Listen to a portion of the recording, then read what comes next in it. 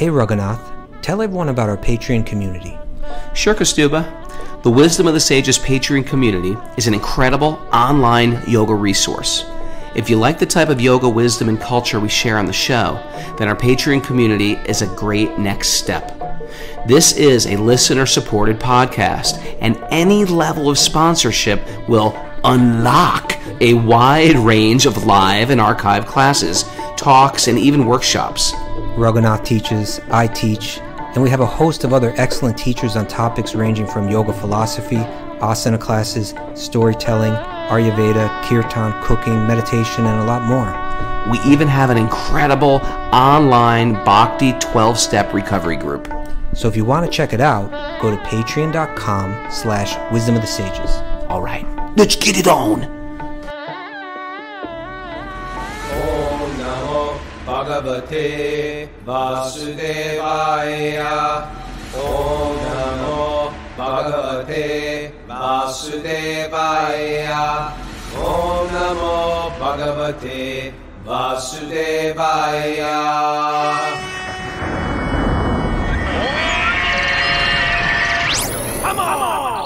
Live from beautiful Vieja Keys, Puerto Rico, this is Wisdom of the Sages, a daily yoga podcast with your host, Raghunath, and co host and senior educator at the Bhakti Center in New York, Kaustubha Das.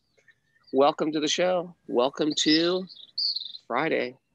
Fridays are, it's not a special day, but it's a special day because we're studying the Bhagavatam. And Kaustubha, I tell you, I'm not very impressed with the material world. Yeah. But I was very, I had a very impressive night last night. My You're wife not impressed do- with the material world.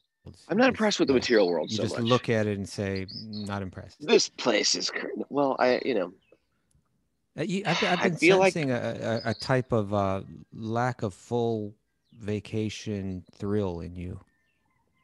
well that's my well. Here's the deal. I feel like the Bhagavatam cuts through the romance of the material world. There's beautiful things. There's wonderful things, but it's still the material world. And our, I find a real joy is from our, our service, our regulation, our diet, our stuff like that. So I'm sort of like off my off my regular plan, and it's good to be with the family and the kids, and I enjoy it, and it's beautiful. But sort of I'm like a little off my regulation. So my wife really one thing she wanted to do was go to a bioluminescent bay. Have you ever heard of that? I've heard of it, yeah. Mara went, but she had a she I think she had a bioluminescent um, fail.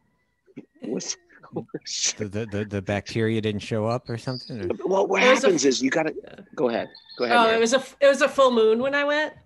yeah. So yeah. Oh, so it's just- like it's there's like practically no moon now, and so my wife picked this day where we go on this particular night, and it was the perfect conditions. Every and it, you know I usually Why go don't to you bed describe what it is Because a lot of Well, it's a type don't- of bacteria that glows. Yeah. Um, and if I actually read the uh, Wikipedia thing, I, which I which I did pull up, it, it, it almost got de- it almost got depressing because it says the wide range purpose for biological, the wide range biological purpose of bioluminescence include but are not limited to attraction to mates and defense against predators. So hold that thought. First, I'm going to get into the in, into the material um, experience. Oh, you're muted. You muted yourself. Raghu. Hold it. Hold it. Is he gonna pick up that he's muted? Yeah, you're Okay, I'm muted. talking to nobody. Okay. Yeah. Sorry. We get in this canoe, and the canoe is see through. It's a Okay. see through canoe. It's like a morning. Um, and uh, as soon as you go in the water, it's a calm bay. And it's like a big circle of a bay. And it's not deep, it's like 14 feet deep. okay. And as soon as you put your paddle in the ground, in the water rather, just it's almost like electrical sparks are coming off your paddle, and it's pitch black, and you can see and under your canoe, it, it looks like you're on Star Trek flying through space. There's just millions of like star-like, tiny dust, star sparkle dust, and then all of a sudden. The, the, the, bacteria cling on to anything in the water. Like you put your hand in there, your hand will start to glow. If you put your paddle in there, your paddle starts to glow. If you put a if you put a fish in there, you can start to see fish. Did you dive in I, and I like saw shark. You know, you're not allowed to dive in because they're trying to preserve it. But um, no They way. like, There's so many. guards or something, or it's just kind of like they trust No, you? it's like a massive open bay. No, "Alright." people just don't do it. But I saw a shark. I saw a shark. I saw a shark, a bioluminescent shark. It was like it was like it was, it was like a five foot shark. Did you freak out? I just went a shark, You know, and it was glowing. Everything in there is glowing. It's unbelievable, and you, and you have to have good conditions. And it was still. It was super dark. But then when I read that thing in Wikipedia about the basis for it is just sort of like why why they're glowing. It's for eating, or no, it's for uh, mating and defense. So you know, in the Bhagavatam, it has this whole thing about.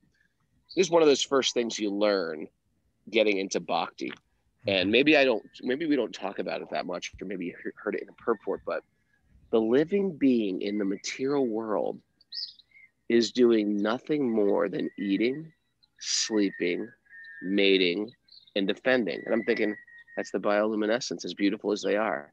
They're mating and defending. And I'm sure eating and sleeping are in there somewhere too.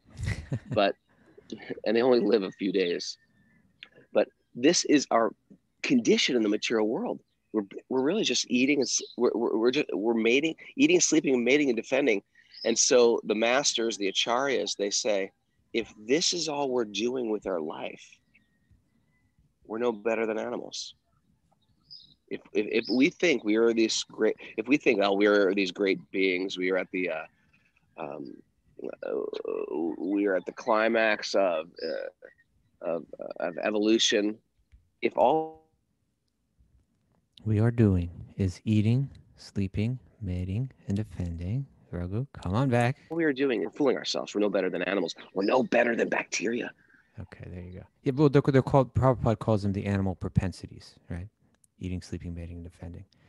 And so he would, he would, do have a intelligence, he- and our special intelligence is to dive deeper into our spiritual life. That's what separates us from the animals. Right. Otherwise, we go. Sometimes humans go. Not sometimes. A lot of times, we're much worse than animals. We do real horrible things. I mean, animals can do some horrible things too. Let's not kid ourselves. Okay, go on. What were you saying? No, I was just kind of like you were you were cutting out, so I was just trying to sew the ends Oh. of your thing together. It worked. It, it kind of worked. It- it- Yeah. Okay. Yeah, but Your, but your, just pa- to your just patches. Patch me up.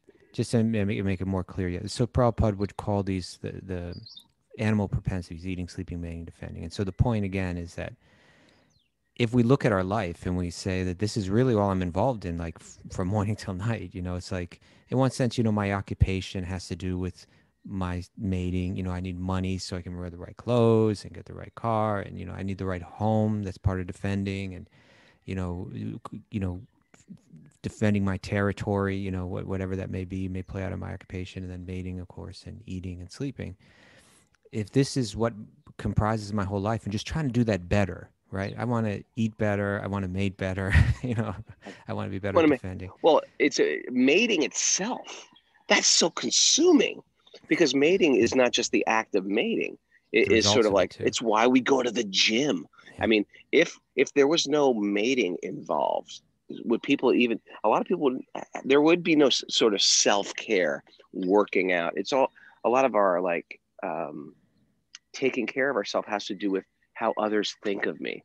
Isn't that horrible? It's like I want other people to like me, so I'm going to work out. It's not working out because my body is a gift and I want to take care of it. It's Mhm. working out because I want to attract a mate. So that comes into play. Then there's of course there's fashion. You got to keep up with fashion. You got to wear wear something that looks good. Does this look good on me? My haircut. Does this look good on me? Whatever else we do to our face. Does that? How's my face looking? Are these shoes good on me? And it almost becomes got nothing to do with me anymore, but how I project myself. So that mating thing is a super comp. It's almost like why we wake up in the morning sometimes, unless we have a bigger you know, unless we see ourselves as part of a bigger contribution to the whole. And of course, there's, you know, there's, you know, Mara is our our uh, our chef, and you know, there's eating. Eating can get very complicated. Some people even call themselves foodies. I'm a matey. What are you? I'm a foodie. What are you? I'm a, we got the martial Defendi. arts guys. I'm a defendy. I'm a sleepy. I'm a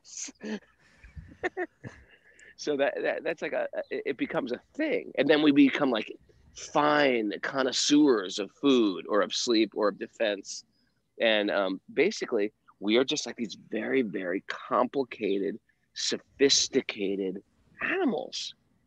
Mhm. If that's all we're doing, right. Well, it sounds And to me like whole- like and- Bhagavatam is is ruining your enjoyment of the world. it, it, you know the Bhagavatam, and, and people will realize this if they're new to it. As you get into your spiritual life, your material life will be ruined.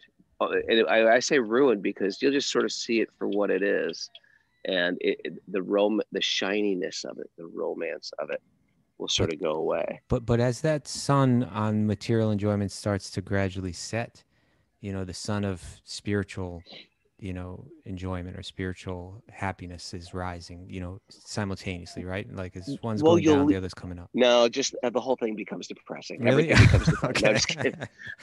yeah of course no what happens is you um you, you start to see the material world for what it is and you and then as you click in with your spiritual happiness then you need less from the material world to make you happy. Hmm. you need less you demand less from the material world to make you happy. You learn to be happy with very simple things in life. Hmm. that's a beautiful thing. I mean that was the the gift of monkhood when we are monks is learn to be happy with absolutely nothing in, in in very very simple conditions. I mean if you think about the way we lived as monks you could call that sort of like abusive oh yeah we slept on the floor we were crammed together we traveled in a van packed in a cargo van illegally and you know we sat on the floor and we ate our food and we ate you know we ate with no utensils we ate with our hands i mean you could you could make a case against like they abused us in the People did. ashram. People did. Don't forget So those Ted what- Patrick videos. Yeah, well, and the and the thing is, it, it was um, absolutely, and what to speak of if you're in India, where it's like, and the weather was tough, and there was no AC, and I had no hot water for six years, and whatever. There's a, in one sense, it was, it was against what the senses really wanted, and we were forced to find a deep happiness. You know, truthfully, I think you know a lot of times we suffer in this world from too much too many choices. We have too many choices, and um, uh, and we're living in our mind. We're living always in our almost like a spoiled child. We have so much, and we're finding new things to complain about to make us miserable. What do you think? Yeah, I, one thing that interests me is is um, when you read Bhagavad Gita and then Bhagavatam, you you get this. Particularly, I see this like in the universal form, which is in the eleventh eleventh chapter of the Bhagavad Gita. Krishna reveals to Arjuna this universal form. It's kind of like everything in one vision, you know, Mm. like the universe all in one vision. But it's kind of like everything that's beautiful is there, but everything that's horrible is there, and it's and it's unbearable for Arjuna to see, you know. Mm. And um, kind of like with the the the, the Gyana Chakshusa that you're wearing, your your your, goggles of knowledge, you Truth know? goggles. your truth goggles. Yeah, you're so you're out there, and when you look at that, I, am sure you enjoyed it. It was probably far out, and it was fun, and it was beautiful.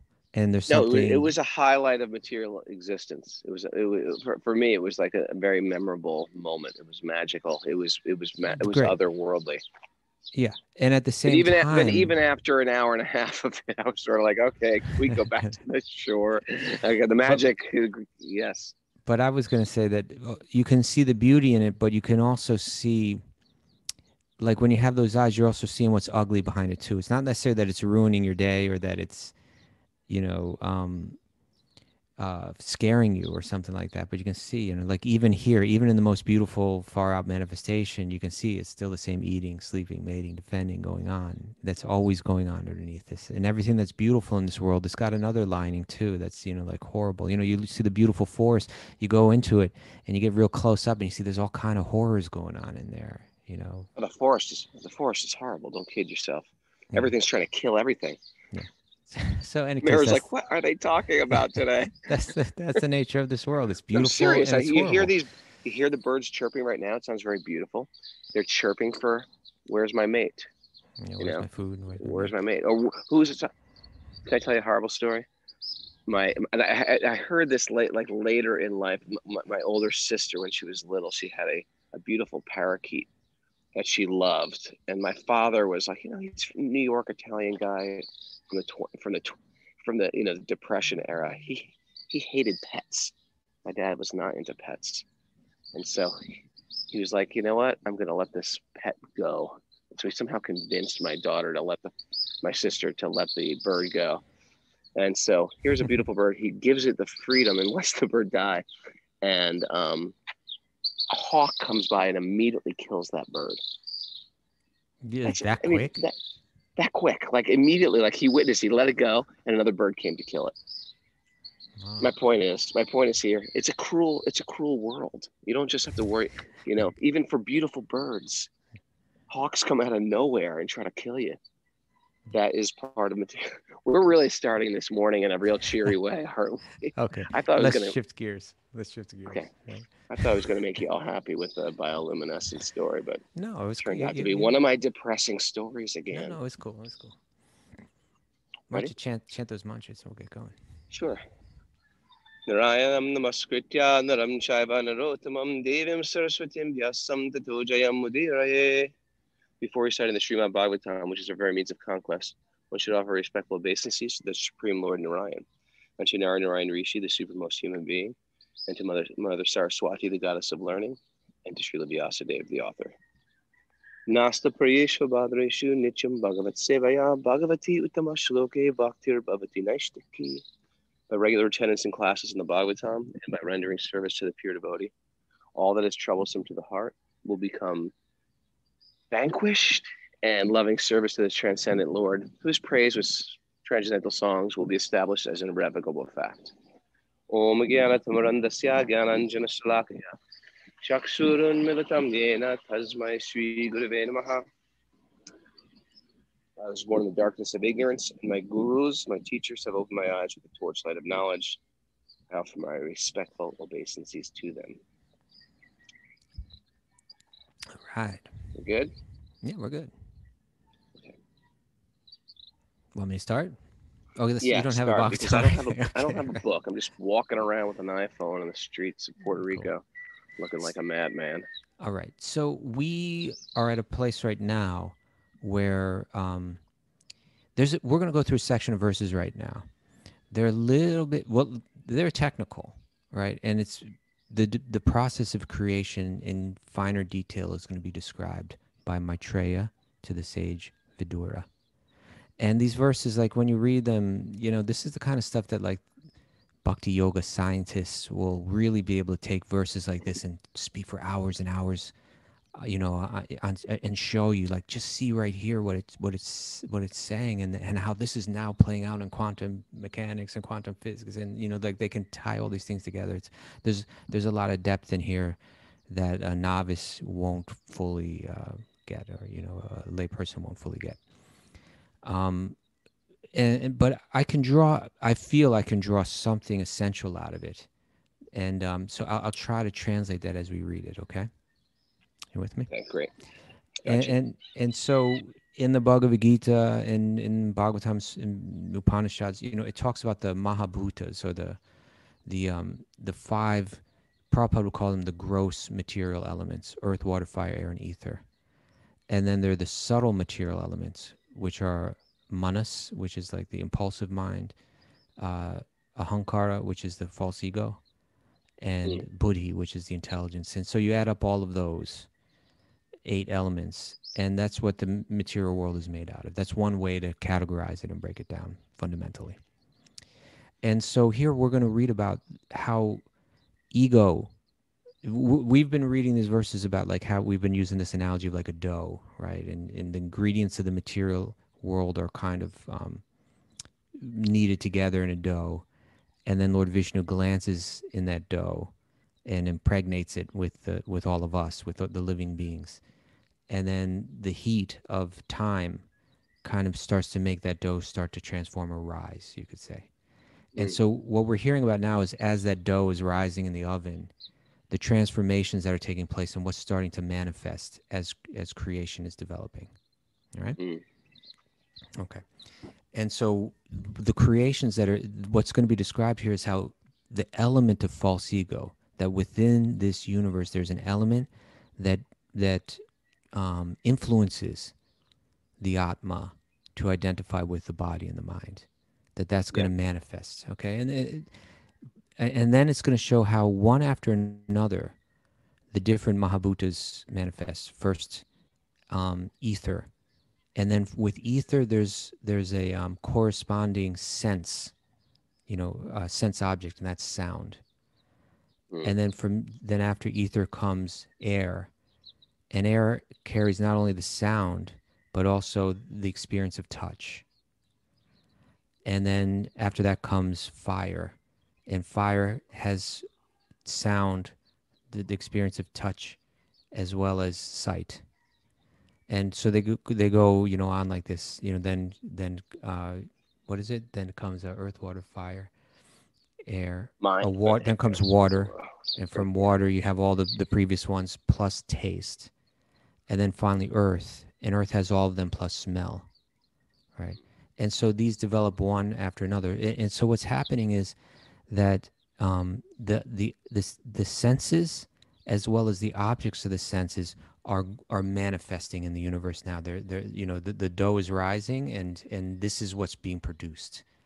The senses the sense objects and then also what's produced next is the devas the the the, the gods of the different of the god of the fire the god of of water god of of air god of you know sound and all that they're all produced as well. And so what's really if we if we want to try to look at this in a practical way or use a, an analogy that we use all the time is like a virtual reality. If if i wanted to put Raghunath into a virtual reality I would have to create how he's going to experience sound in that virtual reality. So there'd have to be some kind of speakers that would have to produce mm-hmm. sound. And so that that that's like producing the ether. But I would also have to produce a microphone for Raghunath through which he would pick up sound. Right. And so that's you know, that's like the ears or you know, the, and so all the senses and the sense objects are created so that we get our little suits that we get with that we call bodies that we can move through this world and, and experience it you know try to Avatar. yeah our avatar our little yeah that that becomes our avatar like you one day on the show you called it like a fake god suit right and so when we call it avatar it's actually super appropriate right I like that. A fake god suit. Did I say that? you said that yeah i think you I think it was Genius. you are and, and- but uh, you know, I was thinking of like when we were kids, there was no, um, you know, the virtual reality was Pong. Do you Yeah. remember Pong? You know, you're the, the virtual reality is quite simple. You're playing a stick, and you're basically playing ping pong with a stick, and there's no colors, and the sound was minimal, and the only different options in the game was faster, slower, smaller paddles, bigger paddles, but um, and as, nowadays it's like I'm not really a video, a gamer, but it's so realistic. You you can live in it, and so what the Vedas is is it's it's explaining that the whole material cosmos with scent. Imagine if you're adding scent and the like, you can get wet. Imagine if you're playing a video Yeah. game, you can get wet. I'm going through the Touch, swamp and I'm yeah. soaking touch. And uh, I'm, I'm sure where this is where virtual reality is going, but basically we're in that already. Yeah We're in that already, Well, where we you- com- completely get sucked up in, just like you get sucked up in a movie, and you fall in love, and you the, the, the lover breaks the heart, and you cry, or the or the hero dies, and you're crying in the movie, or you're feeling great joy and romance and connection in the movie, and it's con- it's all concocted in the mind. It's a movie, and this is what's going on in the material world. It's hard. It's so it's so ups- it's partly upsetting to say like, oh wait a second, this whole thing's a movie. Yeah, I Go was on. going to say that th- when you said Pong was our virtual reality, really our virtual reality then was movies. Right? You go into a dark theater, and and uh, there'd be sound and there'd be sight.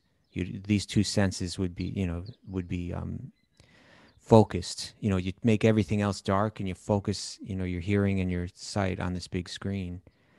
And then you get lost in that world and to some degree you kind of feel like you're in it and you, you emotionally you become very tied to it, very connected right to it. you live vicariously through all the players emotions Yeah. and uh, fears and dangers and explosions and Right.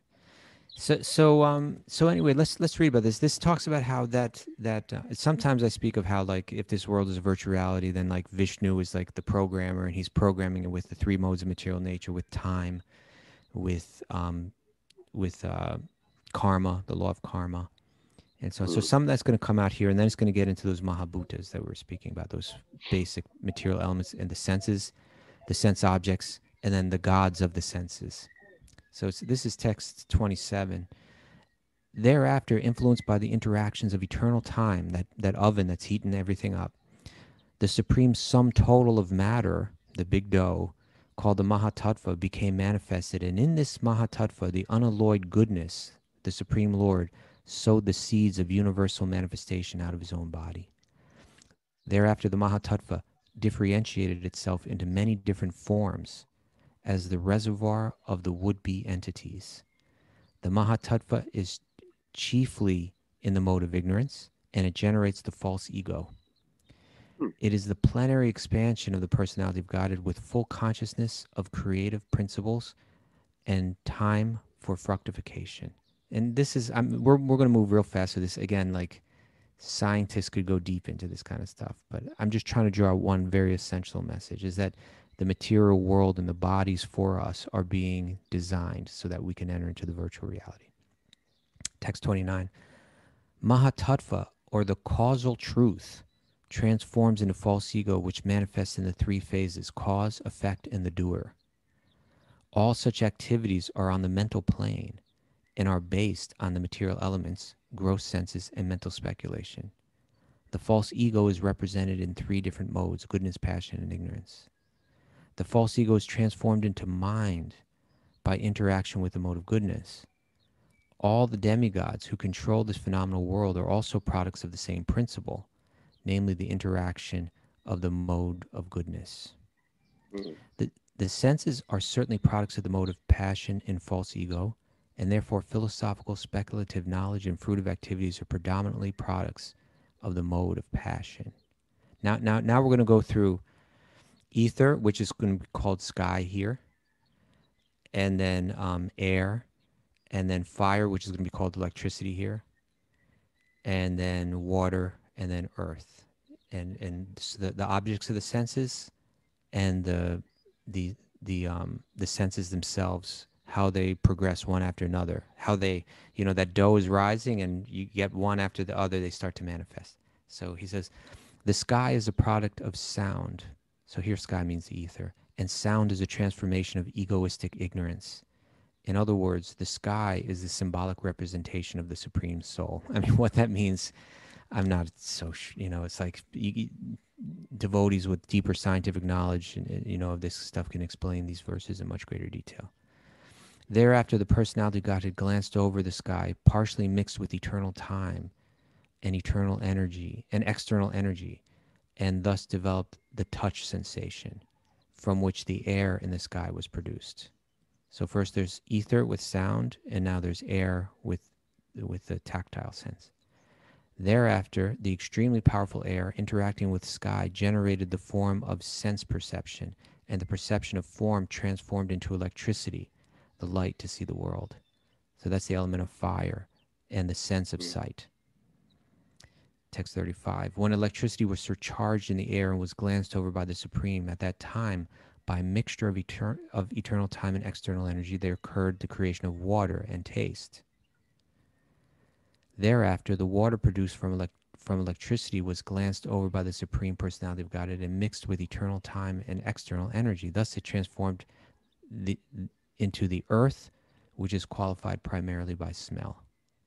So you had each one of the sense objects, and each of the senses developed. Now Maitreya says to Vidura, O gentle one, all the physical elements, beginning from the sky down to the earth, all the inferior and superior qualities, are due only to the final touch of the glands of the supreme personality of Godhead. He's the baker, right? Now, now this is text 38, and now we're going to enter into a very interesting area here because now you have not only were the we read about the creation of the objects of the senses and the senses themselves. So the the suits that we're going to wear in, in the virtual reality, as well as what we're going to, the programming of what we're going to experience. But also the devas are going to be described as the gods, the gods that rule the senses and rule those material elements were also created. And they're all jivas themselves. They're all in their own god suits themselves. But they all have a responsibility to play in making this all work.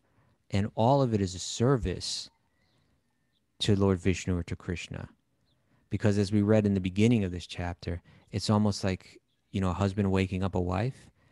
This material world is designed in such a way to, to wake us up. And so they all have their role to play in this big process. And they see themselves as servants of Lord Vishnu, but they also feel like, I don't know if we've got what it takes to make this work right? Like, I, you know, sometimes you're given a big responsibility or you start a new business or whatever, and, and you get that feeling like, I don't know if, I don't know if I got. Self doubt. Yeah. So, so, the, yeah. so as a group, the Devas are feeling a sense of self doubt and they're turning to Lord Vishnu and they begin their prayers. And so uh, text 38 um, begins that process. Let me pull it up here. The controlling deities of all the above mentioned physical elements are empowered expansions of Lord Vishnu. So they're, they're all given special power by Lord Vishnu to carry out their tasks. They are embodied by the eternal time under the external energy. By the way, that's been repeated in every one, right? Uh, and they are his parts and parcels. But they were entrusted with different func because they were entrusted with different functions of the univer- of universal duties, and were unable to perform them they offered fascinating prayers to the Lord as follows. All right. And this to me, just the setting of all of this, I find very interesting because what we're seeing here is that these these um, individuals, the devas, their tendency is to be devoted, right? Their tendency is to f- see themselves as devoted servants of Lord Vishnu. And they've got a task to perform as service. They have a, a sense of self doubt. Can I accomplish this? But what their response was, they all come together, right? They all come together, and they place their their concerns, uh, as well as even their emotions, their feelings of of connection and surrender to Vishnu. Together, they come and they express them. And I think that's important because it, this reminds me of um, I've heard about a commentary, and I believe by Jiva Goswami, um, a great you know bhakti philosopher, where it describes how at the beginning of um, how all the devas on behalf of the earth, when again when the earth is feeling despondent because of all the horrible leaders, then all the devas on behalf of the earth get together and they go together to pray to Lord Vishnu.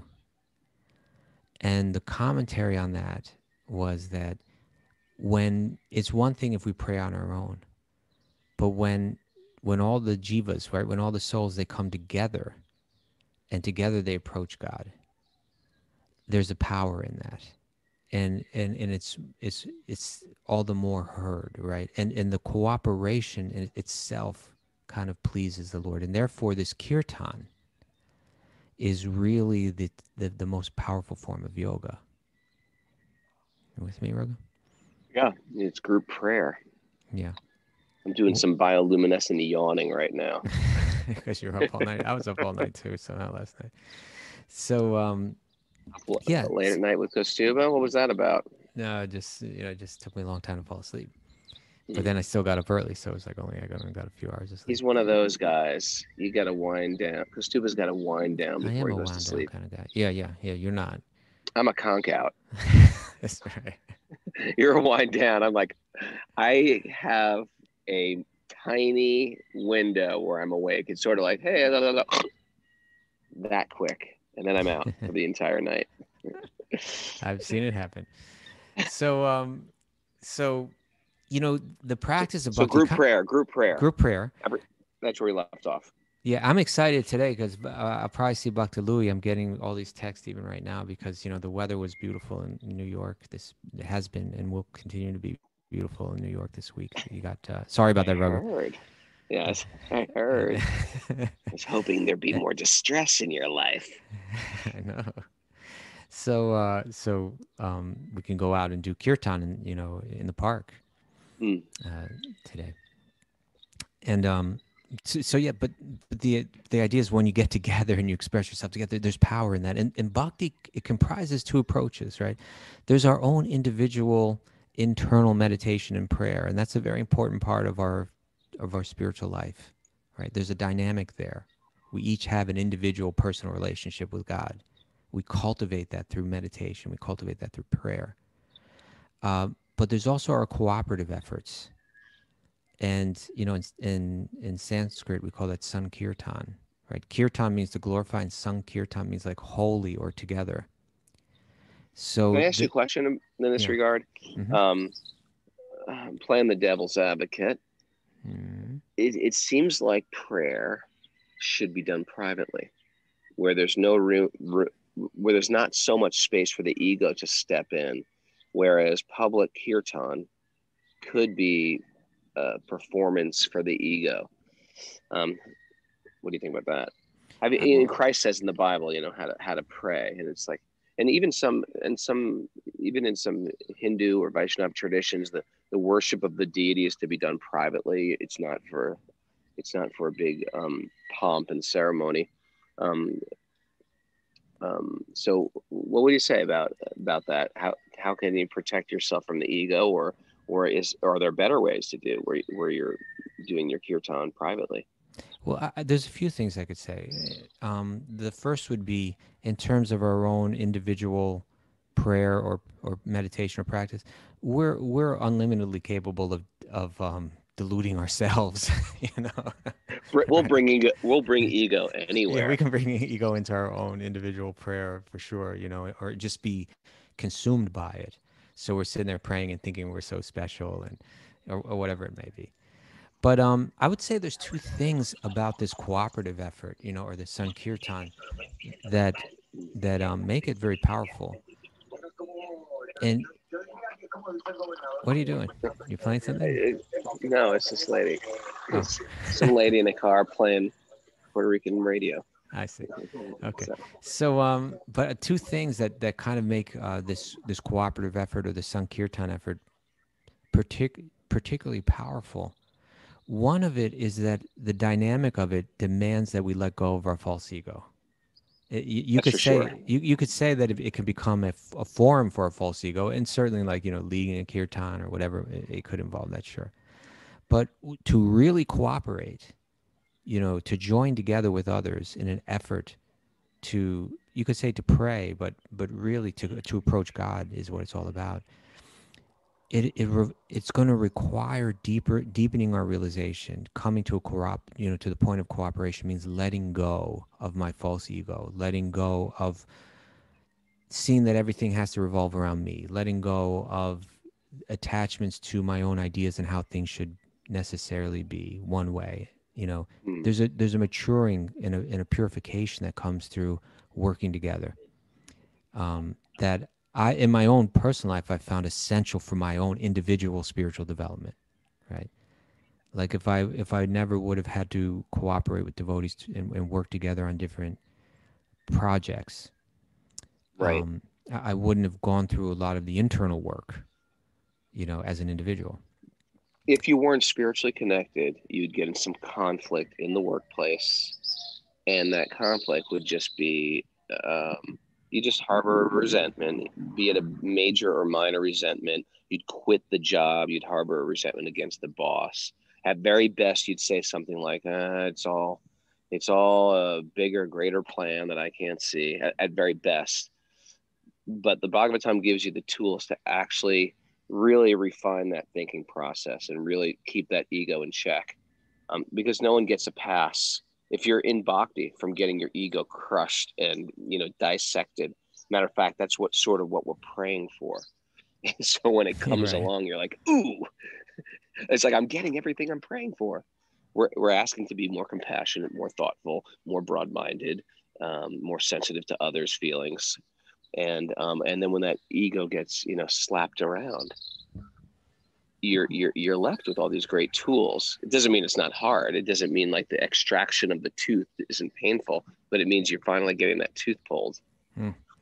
Y- you know if if just to, to give like a visual kind of graphic example um just like take like the solar system you know where you have this this central glowing figure of the sun Mm. and then it's surrounded by um planets that are that are um in their orbit ki- kind of Mm. like you know like um harmoniously you know they're Mm. all harm- they're not crashing into each other they're all harmoniously Right. circling that sun in their place together and then each one of those planets has you know a, a number of moons you know that are going around the planet Mm.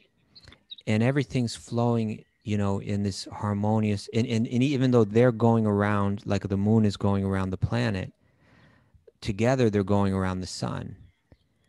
And you know so in so they all the, the the moon has its relationship to the planet. Together they have their relationship with the sun. And together they have their relationship with all the other planets that are also circumambulating the sun. So there's a beauty in that symmetry and a beauty in that uh, coordination. Uh, that's appealing you know? Um, and if all those planets were just like a big mess and all the moons eh, you know in their orbits were just a big mess you would just see a big mess and it wouldn't be nearly as pleasing. You know it would be Right. just it would just be a mess. Uh, but when it all clicks into place you could immediately feel a sense of satisfaction you know and it's, it's in a sense of um sense of harmony and peace artistry. and contentment and artistry and beauty and yeah and all of that so Mm. in a sense we're all little planets or little moons trying to kind of like organize things so that it's all if every planet was trying to get the solar system to to to orbit it you know Right. you would have nothing but a mess and and that's kind of what the material world is so this process of coming together to pray right in harmony it's going to mean that I let go of trying to make the whole world work around me. Mm. And it's working towards that harmonious kind of like, uh, it, it really takes, um, it demands uh, an elevation of consciousness, an elevation of awareness, and ele- you know, an elevation of devotion to enter into that relationship and make it all work. And Mm. and so the process of making that all work kind of is very purifying. And then when the prayers come out the other end, they're you know they're more real. You know. But um, I think nicely put I, I think you and I both felt, you know, just in a simpler way, that when you sit in a kirtan and you, you give your heart to God in that kirtan with a group of people, all humming on that, you know, all vibrating together, right? Right. All all on that same, all in the same groove, all you know, all in that same vibe. That it it does become tremendously um, uplifting and powerful, and the prayer goes very deep, and, and, and the mind rather than being distracted. You know, we sit down to pray, and quickly the mind's distracted, and quickly the mind's going other places, and Mm. and um, even as we pray or as we meditate, as we chant, whatever we do, the mind may be in so many places, but the power of the music and the power of the unity is um, draws that keeps that mind focused, and, and when everyone's mind is focused together and everyone's circumambulating, you know, that that divine together, then you begin to feel not the material energy but the spiritual energy. You know, you get you sense that, and you know, so like verses like, what is it? Um, what's that one? Uh, Golokera Premadana Harinama Sankirtana. You know that Mm. that that Harinam. Sankirtan, right? There's that word Sankirtan, right? That that yeah, this this Hari this unified chanting of the names. It, it's a sense from the spiritual world, Mm. right? It's it, it's made of spiritual energy, and you begin to on some level experience that, and it's it's it's you know it's dynamic. yeah, I think I think it's safe to say I've been to a kirtan. Everyone's got some type of taste of that. Like a, it's not an ordinary folk song. and sometimes that that experience is super profound you know it's like it's very powerful when ev- when everybody's when everybody's feeling that when everybody's letting go of ego then you really Right. feel it and, and Right. you know i was thinking because um, this is the this was the you know first year in a long time where we haven't been to india together you know at, at this time of year and uh, a few years back was the appearance of you know a couple weeks back we on the show we celebrated the appearance of Nityananda. Yeah. and um and that holiday I was celebrating it was after our retreat. I think you and your family had gone somewhere else you know uh maybe to Goa or someplace like that um briefly. I stayed an extra day or two in Mumbai and uh, one of those days was Nityananda's appearance day. Right. and on that day, Radhanath Swami, he spoke about Nityananda for four hours. okay. And um, I think it was like uh, two hours in the morning, two hours in the evening, or three hours in the morning, one hour in the evening.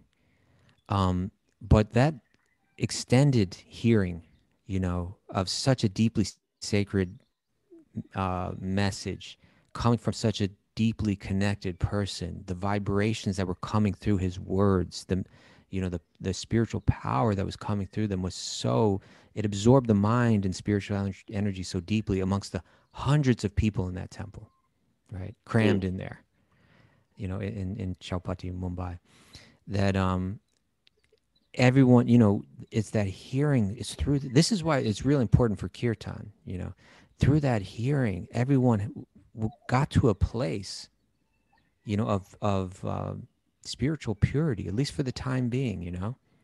And and then and then Gaura Vani led kirtan. And Maharaj danced you know Radhanath Swami danced. Mm. and then and then everybody danced. And it was the kind of thing where every single person was feeling it like on a, a special level you know just like in Right. those in those moments you you could just all look at each other and say this is just another thing this is another Almost like you've recreated the the spiritual world in the material world. Exactly. That's exactly right. Because what is the spiritual world? Everything's revolving around that divine source, that that root of all existence. Everything's harmoniously. you and know, you're revolving around perfectly and yeah you're perfectly linked up in that flow of Yeah. um of who you, how you're supposed to think how you're supposed to act how you're supposed to behave that gives you the ultimate joy Yeah. yeah that's how that's how that's how to describe it Yeah. So so um so that cooperative effort it requires it, it kind of like accelerates the um, need to let go of one's ego. mm, right and and to become part of a to to become part of a cooperative effort re- requires that just in general what to speak of in spiritual circles and you know when you read bhagavatam you see this principle playing out again and again. Like we're even the most materially successful people indra for instance you know when his ego when when that material even though he's by nature a very pious person that wants to be devoted to god that um the, the opulence that comes with his role, the fame that comes with his role, the wealth that comes with his role, the the the potential for sense enjoyment that comes with his role, that will have the tendency, if one's not very careful, to cover your knowledge, cover your understanding, and increase your sense of false ego and, and self-importance. And so, even a great soul like Indra, you know, he falls into illusion the, and then the, and then the devas suffer right they go through fear they go through anxiety you know the, the beautiful world that they're living in starts to become dark and, and, and they worry and, and so on you know.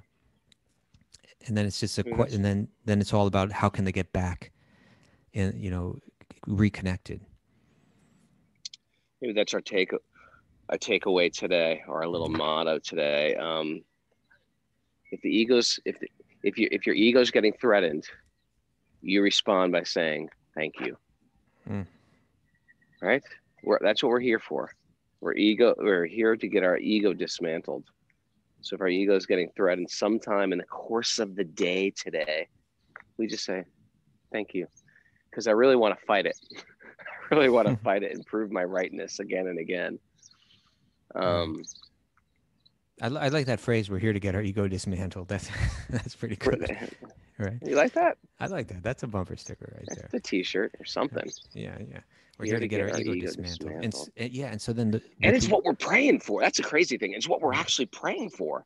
Right. What do you think of- we're chanting for? We're not chanting. We're not chanting for happiness, even though happiness is a product of what you're going to get. We're chanting to get the the material coverings cracked, or to crack that macadamia nut, so to speak, um, to the, the pineapple skin. We're, we're here to crack that to get to that. Ooh, that's a good one. The pineapple skin, which is sort of hard and spiny, to get that sweet fruit underneath so we're here we're here it's gonna it's gonna be a little painful and so when those painful things happen all you can say is wow it's this stuff this process really works it, it's cracking open and now i got to deal with it and how i'm going to deal with it yeah, you learned my- even though it's painful, you learn to embrace it, right? yeah my old my old way was to hide it to bury it to medicate it to stick my head into the sand to defend myself to um to, to, to go to that other one we said yesterday uh, who do they think they are? What do they think they know? They don't know anything. How dare they? Yeah. So in any case, now we're like take that ego. Yeah. thank you. So, so that was one reason. You asked, like, you know, why would um, this cooperative prayer be superior or you know preferable in, in any Private. way to, to private? And again, that, that that individual meditation and prayer is definitely part of the, the bhakti path. Mm. But it's said that the method for this age, in particular, the Yuga Dharma, is this cooperative effort, Sankirtan. So one reason is because it, you know, it will demand a, a- the letting go of our ego, which facilitates, you know, deeper absorption and concentration. But there's another reason uh, that I would throw out there, and it's as simple as this: it just pleases God, right? When we work together, it's pleasing, and, and that may tie into that whole kind of like solar system analogy I was using too. You know, it's like it's pleasing when everyone's working. Somehow he finds that pleasing, just like a, the parent finds it pleasing when the children are, are happily engaged together, right? that's a good analogy Mm. but it, it's also that it's sort of like one symptom of i think it's like of addiction or depression is like isolation. We want to isolate from others. Mm-hmm. and so you know we're asked to interact at the very least with a therapist or like in the 12 step group. You're asked to reach out to a friend or um, interpersonalism is we, we've created a world where it's very easy to isolate. You know they have these I, I- I've, read, I've read this thing about how, how kids nowadays they don't have as much illicit sex or d- get into the trouble like kids did in our generation because they are isolated.